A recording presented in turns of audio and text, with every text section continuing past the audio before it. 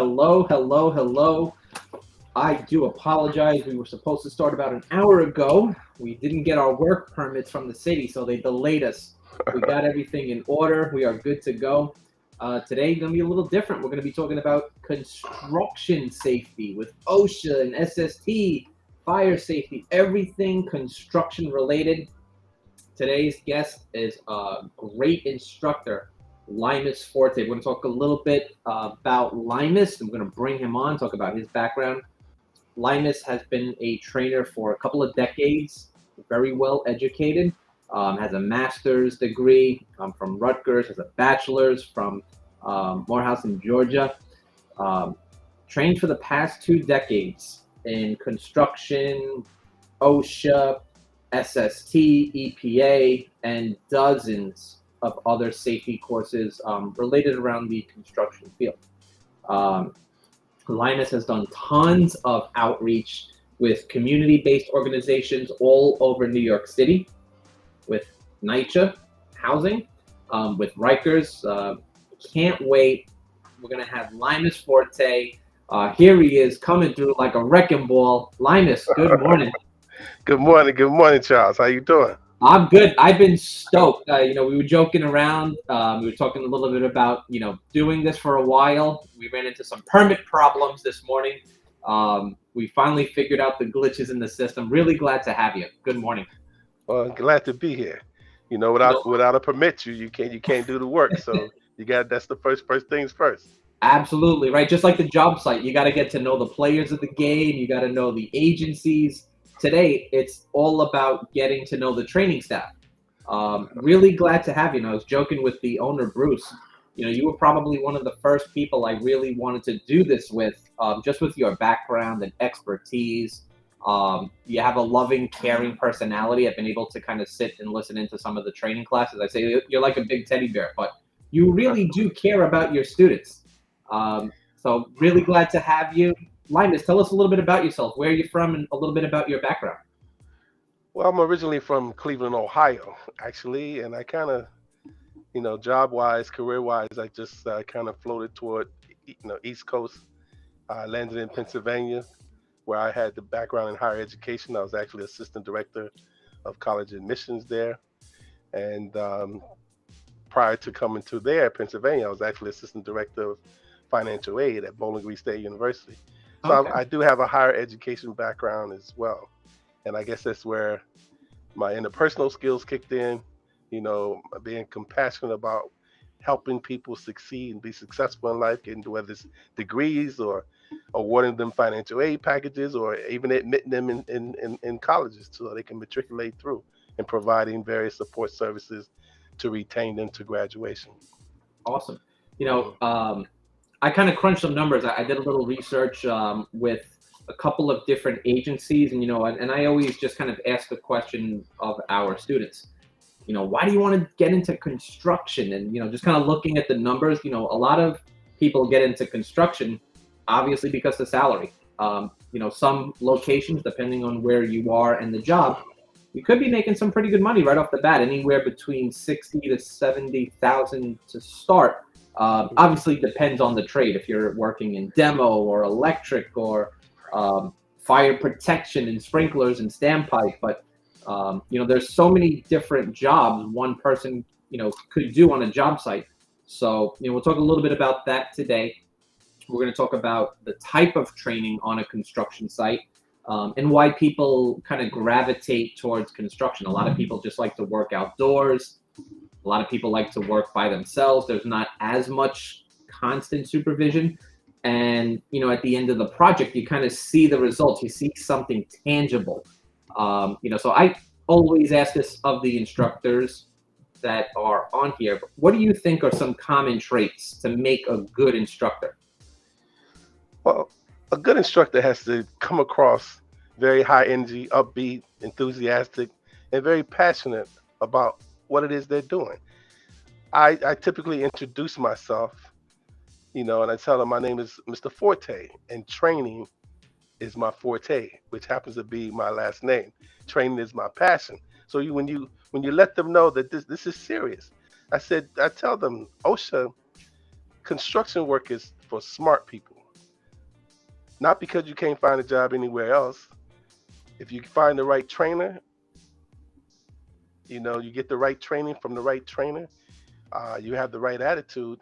College is not for everybody, okay? But you can be just as successful, or even more more successful in a trade. You know, on the construction site, you need a plumber, you need electrician, you need carpenters. You know, so it's all about you know what it is in life you want to pursue. And so a good a good instructor, first of all, gets to know his audience immediately. You got to assess your audience so you know who you what you're dealing with. You know, some some are more advanced than others. Some have a lot of construction experience. Some have have none. You know, so you got to let them know. First of all, construction work is is very dangerous. One of the most dangerous jobs you can get. So you got to let them know. You know, I usually start off by saying, asking them, you know, something about biology, about their body. For example, do you know how many bones you have in your body, Charles? Uh, oof, put me on the spot. 356. Uh, I usually I do that on purpose because most people don't know. It's been a, it's been a couple of years since you've been in in your science biology class. yep, yep. Almost like two decades. right. So I, I asked them that because I want them to understand why it's so important to wear the appropriate PPE, i.e., PFAS, personal fall arrest system. And a lot of a lot of guys wear the wear the harness, but they don't tie off. And yeah. so that's why we have up, upwards of 33% of all construction workers falling to their death in New York City. You know, it's all about location. Also, you mentioned location. Uh, you know, obviously, construction work is very lucrative in, in New York City, more so than probably, you know, most cities in the country. And, um, you know, in addition to the 30 hours of OSHA training, you also have to take the, the 10 hour site safety training as well with DOB. So I mm. tell them, you know, construction work is very dangerous. By the way, you have 206 bones. So you have 206 reasons to tie off. You know, you don't want to break, you know, break 206 bones, right? And um, we talk about the physics of a fall. You know, how far can you fall in one second? How far can you fall in two seconds? You can actually fall 64 feet in two seconds, right? So that when you talk about Isaac Isaac Newton's law of gravity, you know, I give them example of, you know, how much does the average pipe wrench weigh? Uh, they say about five pounds. I said, how much does it weigh if it falls from 40 feet in the air? Hmm. You know, it's the same same wrench, but the gravity, you know, the velocity, depending on how high it is, you know, it could if, if you're not wearing your hard hat, if you're not wearing the appropriate PPE, you know, that wrench can go right through your skull. You know, mm-hmm. so it's like I get them to understand real quick, you know, how important it is to to grasp you're not getting this just to get a, a OSHA card. You know, you're getting this to save your life. You know, who goes to work to get sick? Do you go to work to get sick? No. Do you go to work to get hurt? No. No. Do you go to work to die? No. About 10 to 12 construction workers die every day on a construction site somewhere in America. So you you know you got to stress that early on in the class and let them know this is serious. This is your livelihood. This is possibly could save your life or prevent you from getting sick hurt or dying you know you know i'm glad you bring that up because um, as i was preparing for this you know i kind of wanted to take a little bit you know from everything and you know you just talked about something so important about injuries and and fatalities on job sites so you know i'm going to show you some numbers here on you know construction sites bureau of labor statistics in 2022 there were 2.6 million non-fatal injuries throughout the United States. Um, to me, that's just amazing, right? Because you have so much training that an individual must take to work on a construction site, yet we still have these injuries. And I always think it goes back to the knowing doing gap, right? A lot of people know these things that they have to do, but you know they kind of fail to do them. Um, you know, big numbers. When we talk about you know fatal work-related injuries in 2022, um, a little over 5,000 across the United States, and that's just insane. Um, guys really have to take this training seriously. But as you just said, right, it's meant to keep the worker safe. When you get up, you have to have that safety mindset, you know, going in. You know, I, I always like to joke and, um, you know, have a little bit of fun in classes. I say, why did the Scarecrow get an award at the construction site? You know, because he was outstanding in his field. You know, so I bring humor into this. Uh, I know that you do as well. You know, kind of gets people giggling and chuckling and, and out of their mm-hmm. shell. Um, but there are so many different types of training um, on a construction site. So if you're talking fire safety, you know, there's a ton of different fire guard licenses one can have. Um, S12 for the sprinklers, S13 for the standpipes. But if you kind of want to work your way up into kind of like managing a construction site, the S56, which we do, is a great way to do it. The S56 is required um, for construction sites in New York City. Very popular. Um, one day class. Then you go to the fire department and take the computer based exam. You know, you started to talk a little bit about this. We'll jump right into it right now. Um, OSHA, what is it? Who needs it? Why do they need it? Limas? So, if you want to do construction work, especially in New York City, you're required to take 30 hours of, of training. Um, initially, it was only 10 hours. Mm-hmm. And obviously, with the with the numbers that you just indicated, and even more so years ago, you know, they felt that that 10 hours was merely an introduction. They obviously needed more training because too many too many construction workers were getting hurt and dying, falling to their death. So you need 30 hours of training if you want to do any kind of construction work, um, and you need the other additional 10 hours. Uh, you know, because you're working in New York City. In New York City, Department of Buildings requires the other 10 hours. So it's all about having the right certification. Mm-hmm. I mean, the, the certification implies that you've you've set it in a in a in a well, you've taken 30 hours of training and you're less likely to do something stupid that's gonna cause you to get sick, injured, or die. You need to get the buy-in on first of all on why why you need to wear PPE. You know, what for example, what what type of dust do you not want to inhale on a construction site? Definitely don't want silica. That stuff will right. do damage. Um, when you're cutting up wood, you don't want wood. Asbestos. Asbestos. Oh yeah, asbestos. Mm-hmm kind of important. Don't want that in your body. yeah, and, and lead, lead dust. You know, if, you, if, you, you're working in the, on a building that was built prior to 1978, you got to assume that you know you're doing any kind of renovations or demolitions. You're gonna you could possibly inhale lead. So that's lead, asbestos, silica. You know, you can end up with silicosis. You can end up with asbestosis or lead poisoning. Mm-hmm. And uh, you know, and all those will cause adverse health effects, primarily, you know, with your lungs. So you don't want that. So you therefore, you know, if your job requires you to wear a respirator, the first thing you got to do is get a medical evaluation from your doctor. You may or may not be able to do that particular job on a construction site. You may have to do something else.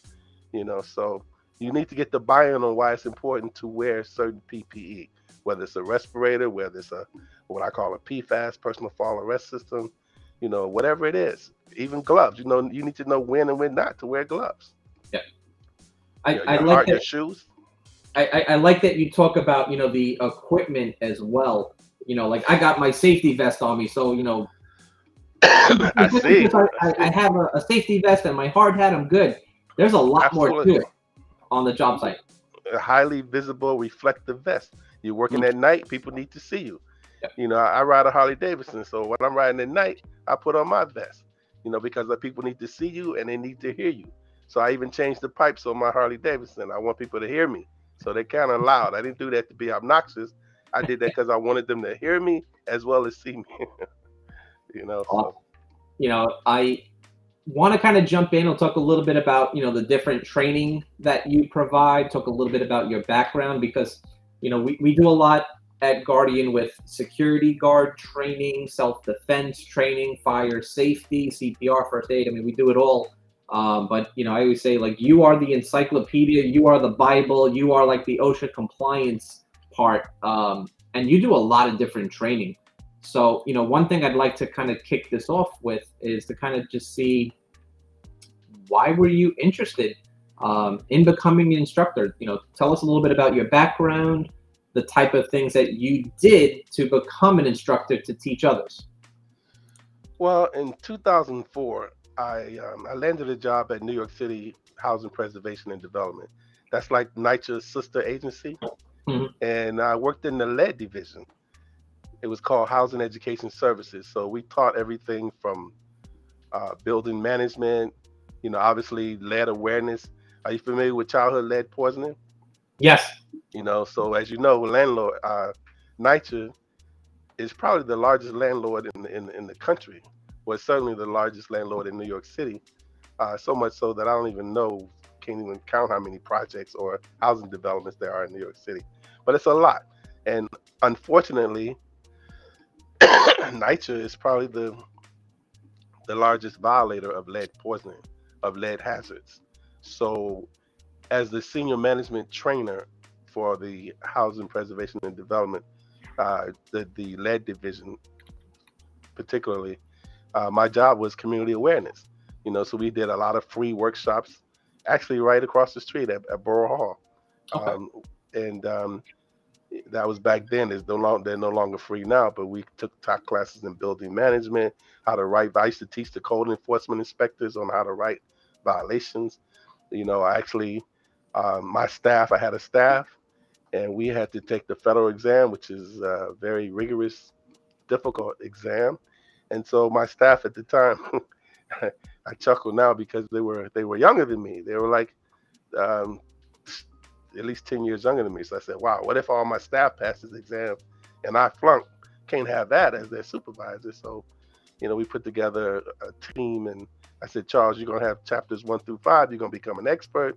You know, Bruce, you're going to take chapters six through 11. Everybody becomes an expert. Then we pull everything together and write up a manual. And that will increase the likelihood of everybody passing. So I kind of fell into teaching at, at, my job.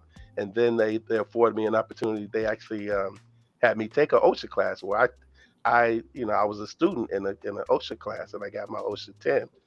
And um, one of my colleagues taught OSHA and he he strongly recommended, he said, Limas, you should really consider because we all had to give a presentation in the class. And I gave mine on PPE or whatever it was. And you know, I was I was pretty I, I was, you know, I'm I was pretty good at it. So he said, you you might want to consider being an instructor. It's it's, it's it's uh it will supplement your income and uh, you might enjoy it. And so I took the test. I invested in the money, passed. It was a two or three day course in at Rutgers University, and I've been teaching OSHA since 2004, 2005. Very nice. But Very I kind of fell into OSHA from teaching, you know, doing community outreach and and, and community awareness uh, on lead, lead paint, the dangers and adverse health effects of lead for kids primarily under the age of six. Um, you know, you may or may not know uh, because you you don't have any kids yet, right? But when you have your first kid, even even Grandpa over here, Mr. Weiss, uh, you got to make sure that his daughter have the kid tested for lead at yeah. the age of six months, and then once again at the age of two. So if they have what we call an elevated blood lead level in their body, you can you can monitor it and make sure it goes down and not up hopefully it doesn't have any any lead in their body because we have we have other metals in our body. You know we got iron zinc you know magnesium. One of my students actually told me we had a little, little um, we got copper we got gold you know so um, i kind of fell into osha from teaching uh, teaching about lead lead awareness to the new york city community. Nice. Very nice I think for me, I became an instructor roughly 2012, 2013, um, because at the time I was working for a private um, guard company. Know, they were taking on the contract for for World Trade. So, you know, I was going to be the safety guy there. So I had to become a site safety manager. And I also had to take the S56. So I had to do a ton of training. And I said, you know, if I'm going to be giving these orientations, why not go through the OSHA program?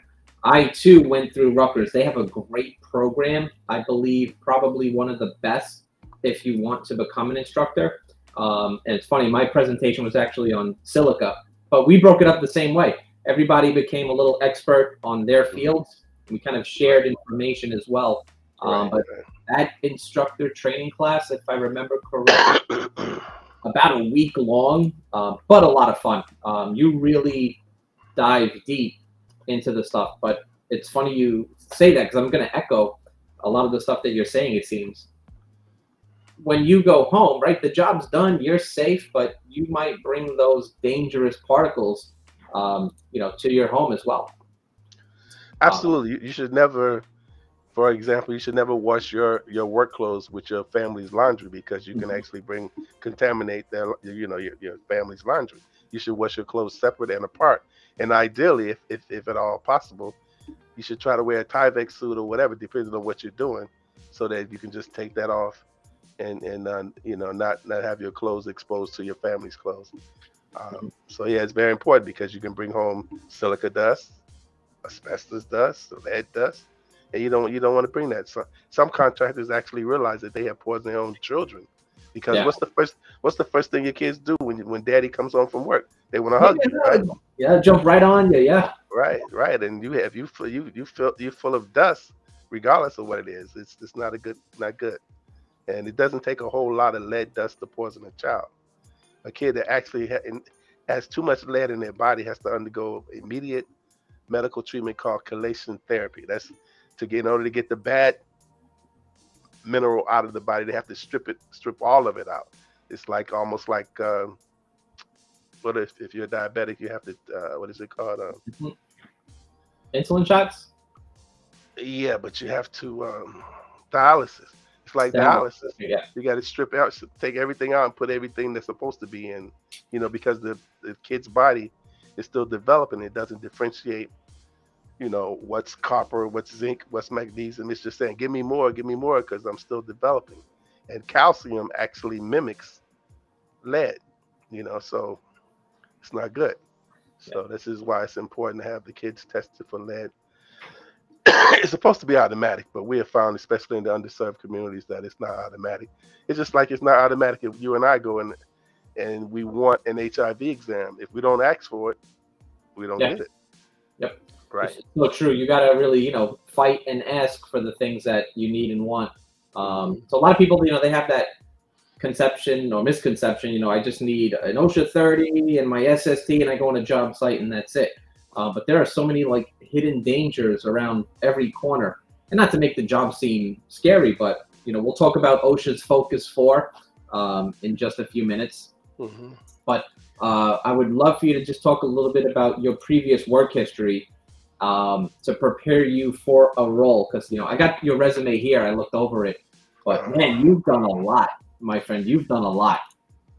Yeah, actually, I can't put everything on my resume. It actually makes me look bad. It makes me look like I never knew what I wanted to be when I grew up. and so, so it might it might look impressive, but it doesn't it doesn't show any stability uh, because I was I was jumping all over the place, and um, uh, it's, that's good and it's bad. I, I had an excellent career, uh, but I never stuck and stayed anywhere for any length of long length of time. So, but yeah, I um everything I even sales. I got a sales background. In Mhm. sales, um, I sold home improvements. I sold everything on a house. I sold everything but the house. I actually took a real estate class, but I never never took the exam. But if I'm in your house trying to sell you a twenty thousand dollar roof, you know, I might be in your house for a couple of hours, but if I sell you a twenty thousand dollar roof, I make a pretty decent commission. But that same, you know, that same roof can somebody else can sell it to you for for twelve grand. So my job was to explain to you why you should convince you why you should buy it from me and not from not from Charles. I said, you know, so Charles, what's the what's the what's the market value of your house? You know, you might tell me half a million dollars, right? I said, so yo, your house is worth five hundred thousand dollars, and you you you don't want to invest twenty thousand dollars to the most important part of your home and blah blah. blah. You know, I would I would embarrass them in front of their wife. you know, I I say, take me to your attic. Let me see your crawl space, and if I see any stains or, but my point is, you got to get, you know. But when I come in your house, you know, we we call it a warm up. You know, I'm looking at, I see your M16s or whatever. I'm like, oh wow, you're a hunter. You know, I look for things that I can start a conversation to, to try to get you to forget while I'm there. You know, and before I lay the boom on you. You know, and um, you can. So the thing is, you got to get them to like you. Yeah. People buy from you because they like you, and we call it in business. We call it ABCs. Always be closing. So you're closing from the time you don't get a second chance to make a first impression. So you know you got in, in in addition to whatever product you're selling, you got to sell yourself first. Absolutely true. Right. You know, when, when um, I was preparing for this, right? You know, I, I got your resume, and I and I would literally, if I had to do like a one sentence to describe you to a, a, student, is somebody who really uh, knows how to get information across in an easy, digestible uh, manner. Because I know that you do some stuff for for bed bug awareness, um, asthma triggers, pest management. Um, you really have taken and know every little aspect about a construction site or an individual's home. How did you get started with that? Again, that was through HPD. You know, you call you, you could you call three one one and they have a problem. It could be heat and hot water. You know, um, do you know when heat and hot water season is or what it is? Oh No. man, put me on the spot. Uh, train the trainer for Mr. McNamara. Is it April Right. 15th So- through October 15th? You're close. Yeah, May. May. Yeah, that's around there. If the temperature on the outside is less than what 40 degrees, the temperature on the inside has to be at least 55. And a lot of senior citizens thought 55 was still kind of cold. But Yeah. they're like, you know, they're in compliant. They're compliant if it's at least 55. Just got to put some blankets on or some sweaters or something. But you know, Mhm. then there's um, um, you know, we we talked about mold. We talked about um, the lead. You know, every every year, if you if you're a housing resident, NYCHA resident, you get a notice asking you, do you have a kid under the age of six for peeling paint, or do you have a kid under the age of ten for window guards? You have no clue how many kids fall out of windows in the summertime. And you know what? Do you know what it is? They hear that ice cream truck. You know, Yeah. so mommy and daddy gets home and they're cooking. They got their back turned. The kid claws up on the chair, to the table, to the window because he hears that ice cream truck. And if they don't have a window guard, they fall out. I mean, you, you if I knew because I worked for there, but you you can see this this binder of, of all these kids that die every year, every particularly in the summer, from that ice cream truck. It, it's an interesting article. I didn't print it out for um, today, but if you go to the city's website, you're actually able to kind of you know pull the facts and pull the numbers from a lot of this information that you're talking about today. And then I remember, I mean, growing up, you know, you heard a lot of incidents of kids falling out of the windows, which kind of led to that law. Or you know, they would try to push themselves through the air conditioner sides where they can wherever they can stick their head out. Um, yeah, pretty dangerous, scary stuff there. Yeah, so we taught I taught carbon monoxide. For instance, why is carbon monoxide considered the silent killer? It's odorless, it's colorless, it's non-irritant. You know, you, you can be exposed to carbon monoxide and not know it. And then it, you know, and then you you fall asleep forever. right? And um, so we taught do you know the national time it, uh, to change your your um, the battery in your smoke detector or your carbon monoxide detector? So every six, six months. No, actually, when the time goes back or up, the daylight savings time, and it's like a, a national reminder. You know, Gotcha. What happens around Thanksgiving or the holidays, you're cooking, and it goes off, and what do you do? You take you pull the battery out because you get tired of that annoying sound, and then you eat, and you get itis, and you forget to put it back, and um, so, you know, it's kind of a national reminder when the time goes up or, or back to to look at to check all your all the batteries in your in your carbon monoxide and smoke detectors. So you know, it's things like that. We taught we taught bed bugs. You know, you know, do you know you can't throw a mattress away unless you wrap it? If you don't wrap it, you can get a you can get a ticket. You get big fines for that now. Yeah. You get a big fine. You know, so people need to be aware of that. You know, um, and it's, it's actually you should do more than that. You should destroy it because you have these trucks coming around at, at night picking those up and, and reupholster them or whatever, and Yeah. you sp- you spreading the bed bug uh, infest, you know, around the around the city, and that's not good. So those those are the, again some of the free classes that I taught at HPD, uh, and you know, obviously led to to my interests, and and I enjoy empowering people, educating people. You know, we say knowledge is power, and then when I can increase your marketability, you know, to increase the likelihood of you landing a job, you know, I certify people. That means I help people get jobs. I recertify people. I help people keep their jobs. So I feel pretty. In addition to the monetary compensation for doing that, I get a little inner fulfillment knowing that I'm I'm helping people. You know, I've I've I've been I've I teach at Rikers. Or I taught at Rikers. And one Yeah. time I was I was in Harlem and I was actually on my lunch break, coming from my lunch break, headed back to one of the housing developments. And I'm walking one way, and the student, a previous student of mine, was walking the other way. the opposite direction, and we both turned around because we recognized each other. And he, you know, this big guy, tall guy, he embraced me and he said, "Mr. Forte, oh man, you changed my life." He was one of my Rikers students. He showed me, went in his wallet, he showed me his his employment ID, he showed me his bank card where he had a bank account. He said, "Mr. Forte, you changed my life. Thank you so much." And it was, you know, it was it was very emotional actually because you know I can't save everybody, but you know if I if I'm able to if you know talk about this and and and, and expound on some success stories, I feel like I'm I'm making my contribution to society. I'm giving you know, back I, a little bit.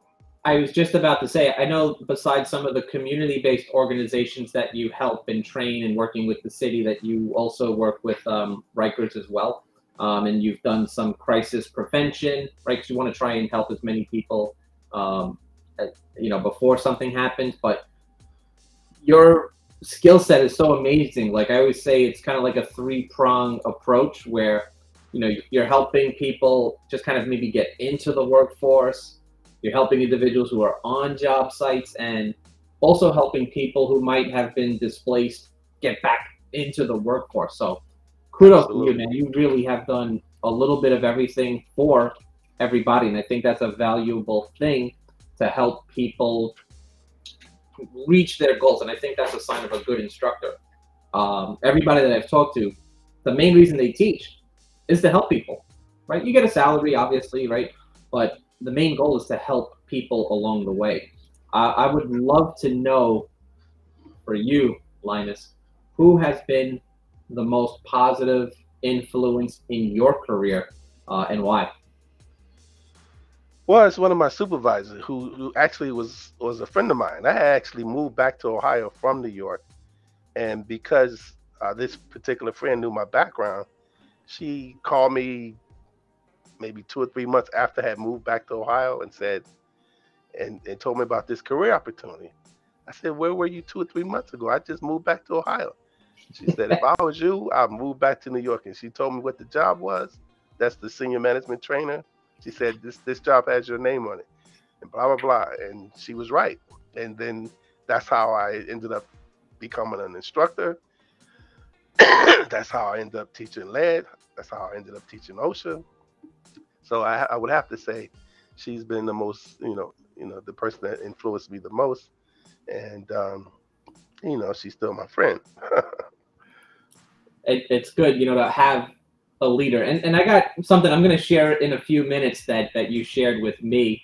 Um, you know, there's so many people I think in this world that just really want to be a beacon of light. And it, I think it's our obligation as instructors or trainers or managers or senior leadership. We have to help people up, right? We never look down on anybody unless we're trying to help them up. Um, you know, and, and it's good to have somebody by your side backing you up.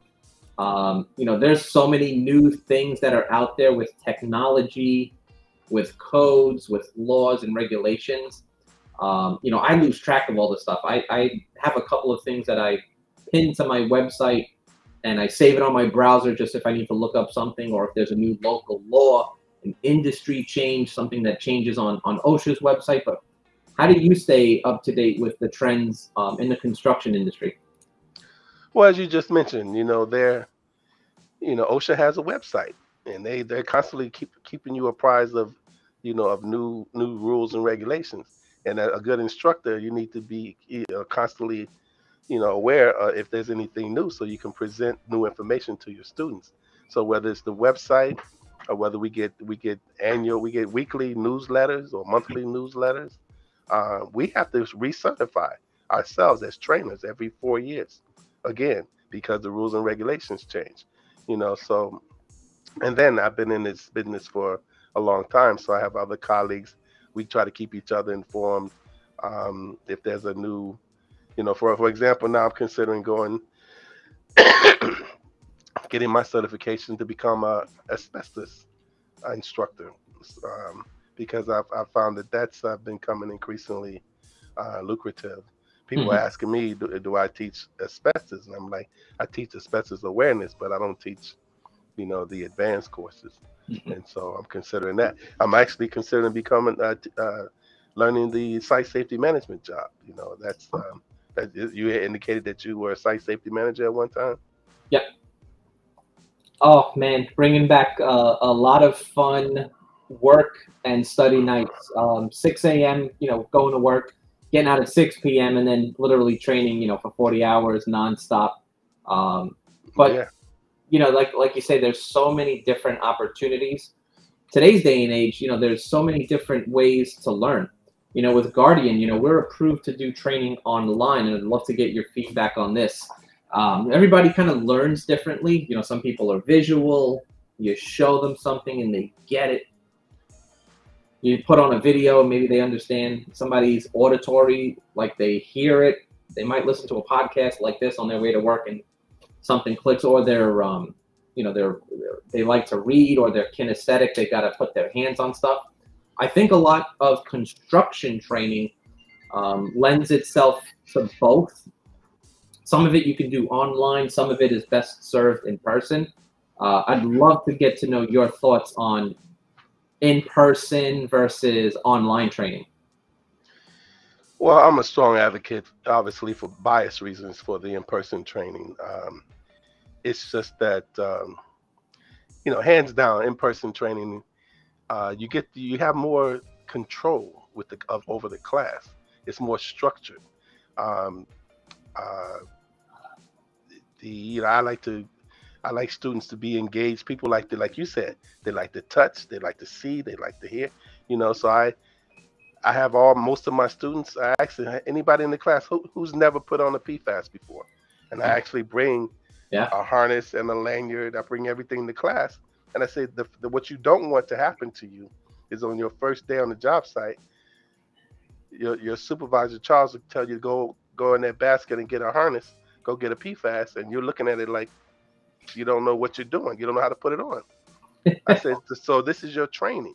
You know, this is this is when you want to look, you know, create stupid or whatever, uh, but not not your first day on the job because if you look that way on your first day on the job, nobody's gonna want to work with you and say, look at that, look at that clown. Don't even know how to put on a, a PFAS. So if you yeah. don't know how to do that, what else don't you know how to do? You know. So I, I, I, I you know, but everybody can't can't come to class. You know. So yeah. I think it's good to have options. You know, but if I had to choose one or the other, I would, it, would, it would be in person class hands down and and I, would love to take this opportunity to share the pictures you sent with me. You had hundreds of mm-hmm. you know students. Yeah, I, I, I, I, was I did that on purpose. You asked me for some pictures several times. I'm like, I'm a I'm a flood them with pictures until he tells yeah. me to stop. and and one thing I gotta say, right? I don't have a, a an hour to share every single one, but yeah. out of the hundreds of pictures that you sent, everybody looks engaged and everybody's smiling. So I'm going to show the picture um, and talk a little bit about this class. Yeah, that was a class for this uh, not-for-profit organization that I actually used to work for. A class called uh, organization called We Act. Okay. Uh, uh, the, the, that organization uh, is a strong advocate for um, the underserved communities in Upper Manhattan, um, and that's where I did a campaign, a lead campaign, a bus campaign, uh, in, uh, informing people about the adverse health effects of lead and and um, you know getting the kids tested and things of that nature. But this um, this was a class on on 155th in, in Amsterdam, and it was it was about 25 students, and um, you know, again, they they love coming up, putting on the PFAS, and I would tell them, I would just watch them, and they would ask me, "How do you do this?" I'm like, "I'm not telling you. You tell me." I said, "This is my whole point was I wanted them to see how important it was." for them to put that on and you know it's it's like putting on a, a book bag but if you don't know that mm-hmm you know, you, you're gonna look stupid on your first day on, on your job. So everybody, usually at the end of my class, you know what they ask me? What else do you teach? because yeah. they want to take another one of my classes. You know, so yes, I usually get everybody engaged, and I tell them up front at the beginning of the first day of the class, if I don't know your name by the end of the class, that's a problem. That suggests to me you haven't been engaged, you haven't been asking questions, you know. And if I, you know, if I don't know your name, if I don't, if I can't associate your name, who you look like, and, and how you participated in my class, that might be to your detriment. You know, if you need a one one one point, if you had a 69 and you need a 70 to pass, you know, that might make the difference. Yeah. So, uh, Yeah. I, I think the very first time that I learned how to wear a personal fall arrest system was actually in boot camp. Um, you know, we climb up the walls, you know, 50 feet high, and we got to rappel down. I, I had like no clue. You know, I'm just a kid from Brooklyn. I've never put any of this stuff on. I put it on the same exact way you would a book bag, not realizing well, that's not the way that this thing goes. But drill sergeant would say, "Who wants to work with this guy? He's going to get you killed." And it immediately just you know kind of snapped on. Oh snap! I need to pay attention. I could get hurt or hurt somebody else um, as well.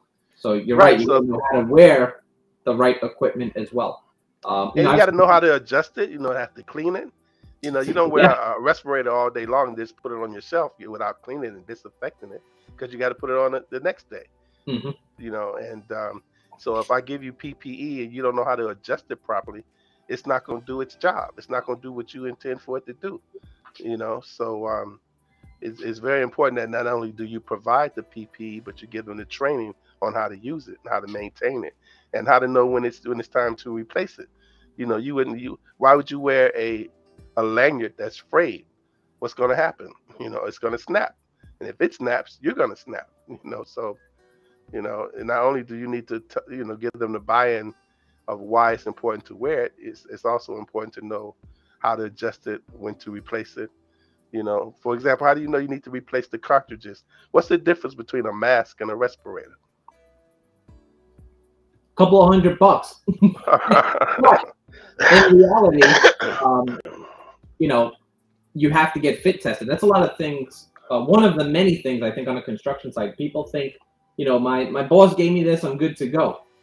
It's still your responsibility to make sure that it fits properly um, and it fits to you um, because size differences, some things you have to be fit. Mm-hmm. Um, one thing is for a certain set of particles, the other might be for another set of particles. Correct. Um, you got to know the proper tool for the job that you're doing. Um, you know, another one I, I, think too that you mentioned, um, which we're gonna, you know, hard hats, wearing the right headgear, the safety gear as well. Absolutely. You know, why would you want to wear a hard hat? Why do you want to protect your head? Because that's where your brain is. you know, and uh, if your brain stops working, guess what? Everything else stops working. So you know, it's it's just unacceptable for you not. This this this guy got killed in Jersey City. This guy had a, a measuring tape that only weighed a pound, but it fell from 50 stories and killed a man. Why? Because yep. he, he wasn't wearing his hard hat. now, even if he was wearing his hard hat, it may have knocked him out, but it, it, it probably would have saved his life. You know, so I have a lot of gory videos where the guy drops a wrench and the wrench goes through the guy's skull, and you know, um, I find those those type of videos are necessary when I'm teaching. It, it hits home, but it, it's the basics, you know. And I always say you have to have a good foundation and understanding. You know, safety is your responsibility, right? Yes, you know, when we get into legalities, the employer has to do training, but safety is everybody's job. You got to make sure you get to work safely and get home safely. Even uh, something as simple as climbing a ladder. You know, mm-hmm. name two name two types of ladders. You got your step ladder, and you have your extension ladder. And they both you you gotta always face the ladder.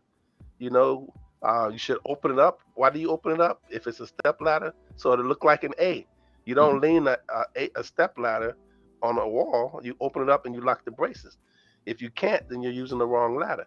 If you're using an extension ladder, it should extend at least three feet above the landing you're trying to access. And then there's a ratio, the angle. It should be four to one. For every four feet up, the ladder should come out one foot. So there's there's rules to climb the ladder and how to be safe. Most people. so, so I asked my class, how many of y'all ever painted before? Everybody raised their hand. I said, did you carry the bucket up with you?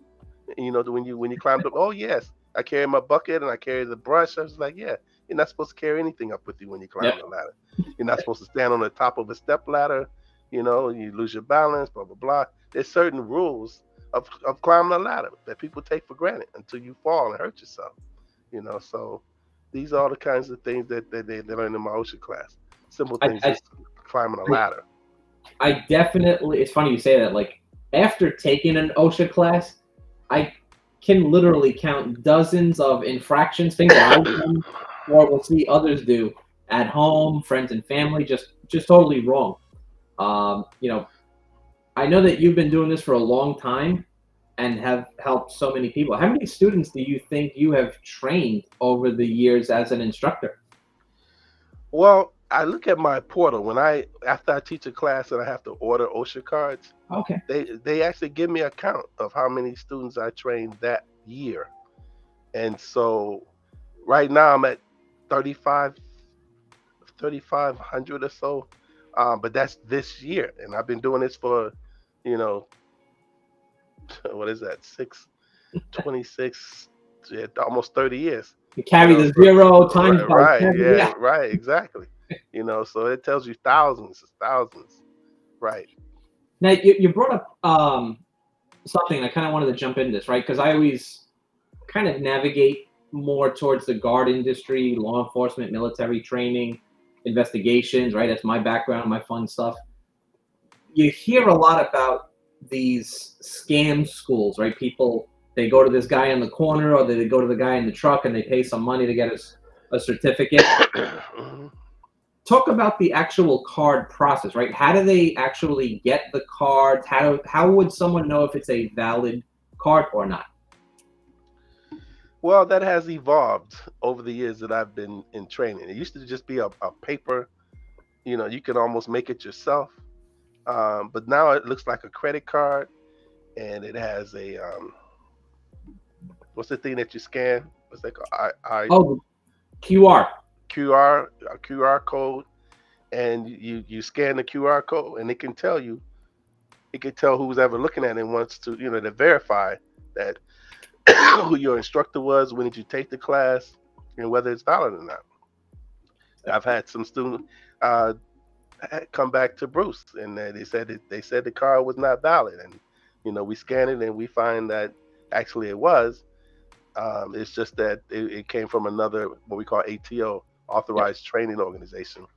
Uh, I have my current training certification from mid, the Mid Atlantic now in Maryland, not Rutgers, and okay. so they were saying that the 14, which is Rutgers, you know, on, on my number on my on my my number that they put on my card, and he said, ah, all this you got if it does, if it starts with anything other than a 14, it's not valid. Well, that's because most of their people that work for New York City took the train at Rutgers, or the the instructor took the train at Rutgers. So, but we found out that was one reason why the card looked like it, it was invalid, but mm-hmm. it, it, that was actually valid. So the QR code looks like a credit card. It's not it's not easy to uh, to copy. If you have this, I've heard some students had said they had their their picture on their OSHA card, and that's the that's the dead that's the dead giveaway. Nobody, yeah. you know, you have your picture on your site safety training card now. That's different, you know. Um, but yeah, it's it's become more and more harder and harder to to to fake. And then if you if you if you know somebody said they only paid hundred dollars for their card, then you are you, you already know. You yeah, know, you know, um, something fishy about that. I, I always tell people you, you think you might be getting a deal, right? Hey, you know, go to these guys. They'll charge you a hundred bucks. You only got to sit there for an hour there should be red flags, right? Because sometimes they'll just give you a paper like, "Oh yeah, look, you are good. Right. Here is your Absolutely. card." Absolutely. And then students, prospective yep. students try to, "Oh, I'll just I'll just give you two hundred dollars and you put me in there." I say, "Oh no, no, no, no, no. I want you." First of all, that card doesn't mean anything without the information. Correct. If your supervisor start asking you basic questions and you can't respond, answer them appropriately, first thing they're gonna say, "Well, who was your OSHA instructor?" And if you see if they see Limas Forte, they're gonna know no, that, that couldn't have been your your instructor because I know how he gets down. He's yeah. very thorough, blah blah blah. And um, so I I said no, that um, you got to sit in my class if you want it from me. Quite frankly, I don't want my name on your OSHA card if you don't know the information. Yep, I, I know it's a reflection on me. Several well. instructors that would not um, you know, just hand out a card because people like, oh, you know, I'll pay you four or five hundred bucks. Here you go. And you know, it's like you said, reputation is important. Most of all of the instructors I've come across, you know, they know their knowledge. They want to help people, and you know, they got to make sure that they do it the proper way. Because OSHA will go out to job sites. You'll have New York City Department of Buildings on job sites, so a lot of people take it very, very seriously. So we should do it the right way. It's a federal certification. Who do you not want to mess with? The feds. Yeah. I know you talked a little bit about this earlier. Um, continuing education, developing your skill sets. Um, I always kind of you know have my books right in front of me when I'm going back and forth to work. You know, on the bus and the train. It's like my mobile classroom. Um, but what are some other things that you are taking part in to develop your skill sets? Well, I, I, I try to go to as you know as many classes as possible. I, I believe I'm a strong believer that you you should always be learning. You should learn something new every day if possible, at least once a week. Um, so, as I indicated earlier, I'm, I'm probably going to do a, you know site safety management course, maybe the asbestos course, so I can teach that, um, and just stay apprised to to new rules and regulations. Uh, one of my colleagues brought something to my attention about lead. Uh, they, they they actually lowered the numbers uh, in terms of um, exposure to lead dust for kids. It used to be 10 micrograms uh, per cubic centimeter. Now it's five, you know, five micrograms, which is a lot less. If they use the XR gun to test for lead, um, it used to be 1.0 milligram per centimeter square. Now it's a lot less than that. So they're basically saying if there's any lead, the homeowner, the, the, the landlord needs to remediate that lead hazard immediately. And so, uh, so just stay on because you you don't want to give you don't want to teach misinformation. You got to know the new information. So uh, you got to always be uh, you know looking at the website to see what's new. And usually when you go on the website, they'll tell you right away this is brand new, news flash, blah blah blah, new rule, new regulation. So if you want to be an effective and current instructor, you, you got to at least visit the websites. I think you know you kind of nailed it on the head on um, OSHA's website. Whatever's new, always going to pop at the top. It's a great resource. OSHA.gov. Mm. OSHA.gov is a great resource.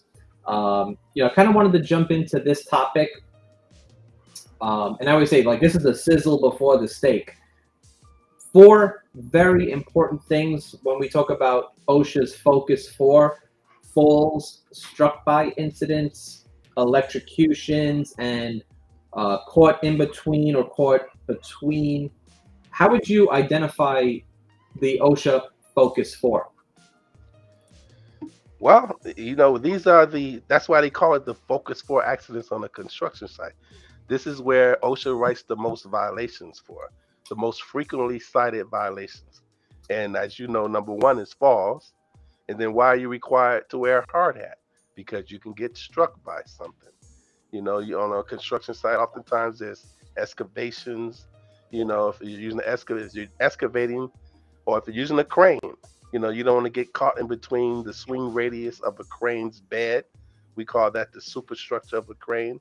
You know, you don't want to get knocked into an excavation because you get caught in between one cubic yard of soil can weigh up to four thousand pounds, at three thousand pounds. That's like a car falling on you, you know. So caught in between and um, and struck by electrocution.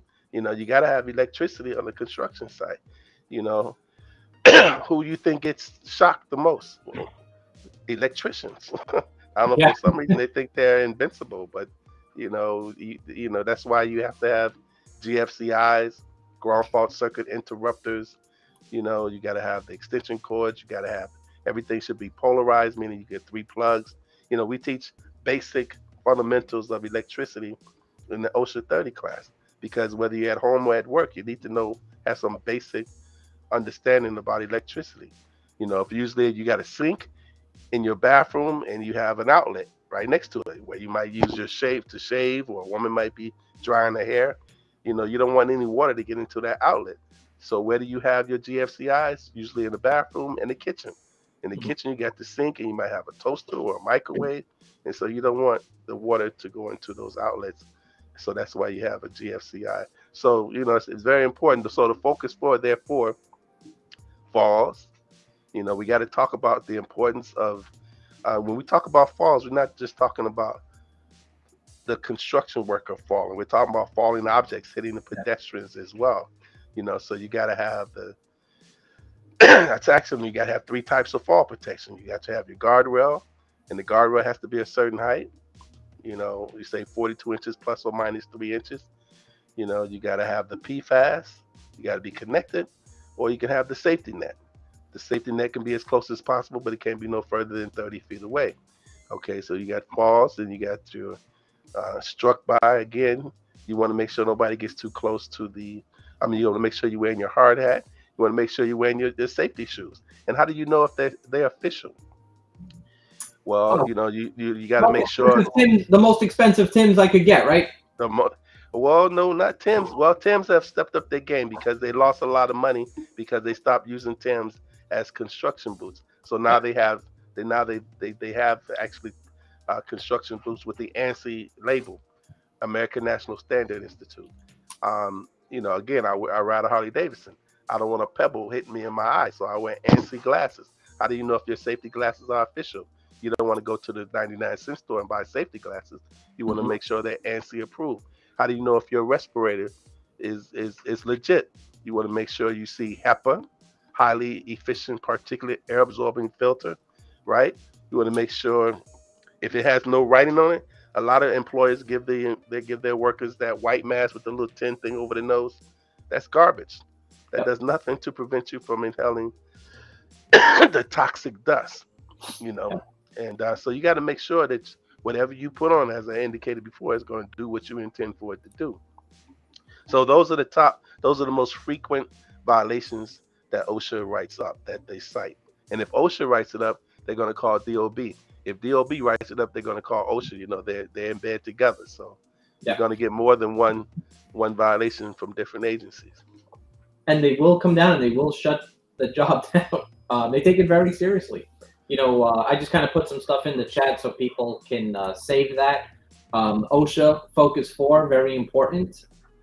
ANSI Safety, okay, and UL Laboratory as well. Um, what other resources would you recommend for students to kind of look into maybe after a class just to kind of help them remain safe on a job site? Well, I actually tell them be bold, be aggressive, Go to a construction site and show them your credentials.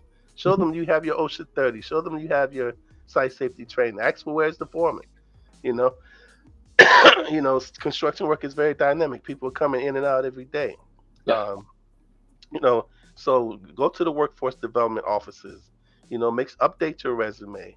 Um, you know, you know the usually when I when I before I start a class, I ask everybody to introduce themselves. Tell me why you're in the class, what you know about OSHA. Do you do you do construction work? Or are you just looking for a job?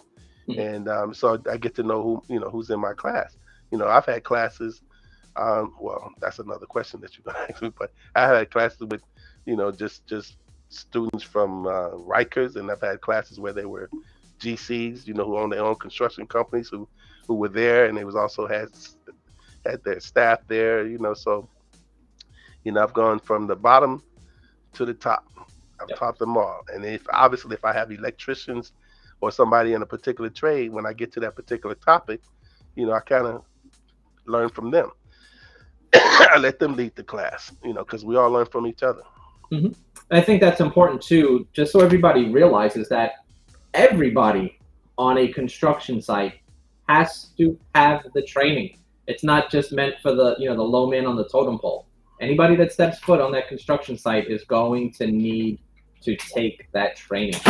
Um, Limas, last question: What has been your most memorable class, and why? Wow, that's that's that's a hard one to find one most memorable class. But I taught a class again in Upper Harlem uh, for this organization called Grant. No, no, actually, it was right around the corner from here. BEOC, uh, Brooklyn Educational Opportunity Center on Livingston. And um, I didn't know that they were calling me to teach the class because the pri- the previous day, the current instructor that they initially hired couldn't handle the class. So when I get there, I didn't really know that was why I was there. And I just did what I normally do, took control of my class. And so as a result of me taking control, you know, um, they respected me more. I don't know whether it's the other the woman, you know, the, the previous instructor was, you know, she was a woman, and I guess she was maybe soft or whatever. And I came in, you know, strictly business. You know, hmm. this is an OSHA class. You need to understand the, the value of this class, how important it is. We're talking about your livelihood, your life, your health, And you know, I, I established my class right away. And so I've had students come to me after the class. It's like, wow, Mr. Forte, you don't realize, you know, do you know you were the second instructor that we had? The first one didn't didn't last because they had a fight. There was an altercation, and you came in and you took control, and blah blah blah. And several of those students came up to me after the class, some of which started their own business, and came to me and thanked me for making sure that the class was not canceled. So it's those kinds of things when students come to me and thank me for for for changing their life basically you know i remember those classes you know so this particular class was just right around the corner and they had about 30 students and they were you know a lot of you have these classes where the organization the community organization pays for the class sure. some of them yeah. take it more serious than others you know they had they take it more if if you had to pay for the class, you tend to take it more seriously. But if it, yeah. if somebody else is paying for the class, then he's like, ah, I'm taking it because it's free. And yeah. I try to weed out those students right away and let them know, you know, you don't have to be in this class. If you want to be excused, I can let you, you know, blah, blah, blah. You know, let them know I don't want no knuckleheads in my class. I want you to learn. If you're not, if you're not here to learn, then I don't really want to teach you. If you if you have skin in the game, you kind of pay attention a little bit more. You're absolutely right. Mm-hmm. Um, Limas, I just want to thank you so much. Um, you know, for doing this. You were like the first person on my mind it's crazy how fast these go by. You know, we've hit the hour mark. We always try to hit the sweet spot um, with like an hour. Um, folks, I want to thank you for, for tuning in. Uh, make sure you sign up for an OSHA class. You're going to get this gentleman, uh, Limas, um, most likely with OSHA and SST. I have all of the information at the bottom in the website listed below, guardiangroupservices.com this is kind of the start, right? You can take your OSHA training, work your way up to do so much more on a construction site. So, Limas, once again, thank you very much. It was a pleasure having you. The pleasure was all mine. Thanks for inviting me. And, folks, comment down below what training would you like to see in the future? Um, who would you like to see on a podcast? Stay safe, stay alert on those job sites. Most importantly, be safe. Have a great day.